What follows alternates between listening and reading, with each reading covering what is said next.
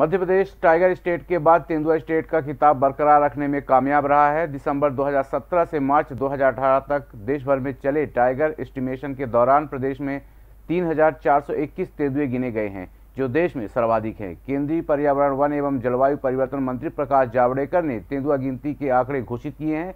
वर्ष 2014 की गिनती में प्रदेश में 1,817 तेंदुए थे लेकिन चार साल में 1,604 तेंदुए बढ़े हैं। इस बीच जब हर साल औसत 60 तेंदुए की विभिन्न कारणों से मौत भी हुई है। लापड़ स्टेट मध्य प्रदेश में दो साल पहले हुई गिनती से सामने आया कि इस आंकड़े में 80 फ़ीसद तेंदुए ऐसे हैं जो ट्रैप कैमरे ने क्लिक किए हैं। सत्रह तेंदुओं के साथ कर्नाटक देश में दूसरे नंबर पर रहा है। बाघ स्टेट के बाद प्रदेश को तेंदुआ स्टेट का खिताब मिलने से सरकार और वन अधिकारी खुश हैं। देश में सर्वाधिक 526 बाघ मध्य प्रदेश में हैं और अब सर्वाधिक 3,421 तेंदुआ भी यही हैं। वर्ष 2017 और 2018 में की गई गिनती में प्रदेश में 3,271 से 3,571 तेंदुए गिने गए। इनमें से 80 फ़ीसद को ट्रैप कैमरे ने क्लिक किया था। इनमें से भारतीय वन्य जीव संस्थान देहरादून के वैज्ञानिकों ने औसत 3,421 का आंकड़ा निकाला है। इस साल पहले ही वन विभाग ने तेंदुओं की आंतरिक गिनती कराई थी जिसमें उन 16 जिलों में तेंदुओं का उपस्थिति के प्रमाण मिले थे जिनमें तीन दशक के एक भी तेंदुआ नहीं देखा गया था।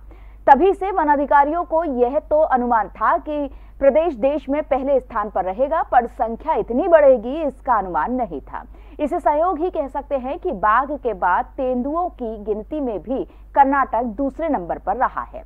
एमपी के बैतूल, शहडोल, खंडवा, सागर, डिंडोरी, छतरपुर, सिंगरौली, सतना सहित 16 जिलों में पहली बार तेंदुओं की उपस्थिति के प्रमाण मिले थे। इन जिलों में पिछले दो तीन साल में तेंदुओं का मूवमेंट शुरू हुआ था जबकि प्रदेश के 30 जिलों में पहले से तेंदुए पाए जाते थे। संगीत की स्वर लहरियों से सांस्कृतिक ताने बाने तक चंबल के पीड़ों से नक्सलवादियों के गढ़ तक झोपड़ी से महलों तक ठेलों से मेलों तक पगडंडियों से सड़कों तक गाँव से शहरों तक व्यापार से उद्योगों तक राजनीति से कूटनीति तक। दखन न्यूज़। आपके हक।